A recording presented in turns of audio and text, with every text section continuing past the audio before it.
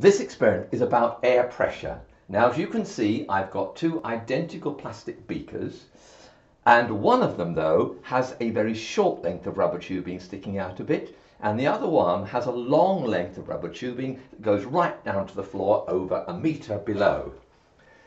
The one with the long rubber tubing has actually been filled with water already, but I'm now going to fill the other one so that we've got both of them full of it's coloured water actually. It looks like red, red wine, but believe me, it isn't. So there we go. Right. We're now going to let the water out of the tube starting now.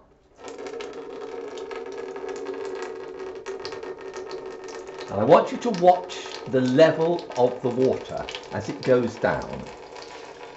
At the moment, they're pretty much equal, I think. Now just to remind you, the one on this side, the left hand side one, has just a very short length of rubber tube. The other one has the long length of rubber tube.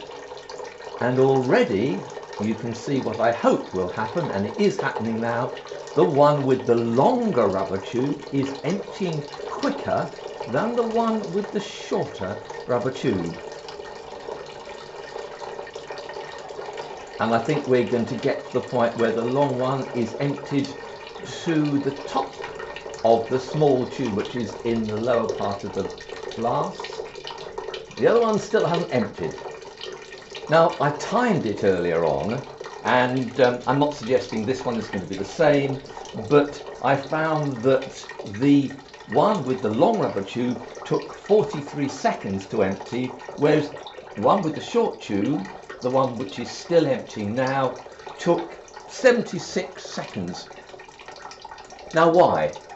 Well, you'd think that the long tube beaker would take longer because of the friction of the water as it flowed out of the tube, but that's not the case. Remember they were both the same depth of water in the two beakers, but actually they weren't, were they?